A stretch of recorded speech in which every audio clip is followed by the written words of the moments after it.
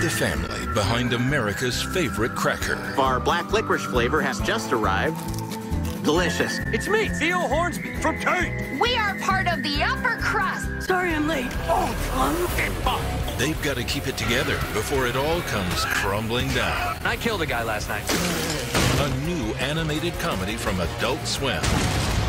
Royal Crackers. Series premieres April 2nd at 11 on Adult Swim and the next day on HBO Max.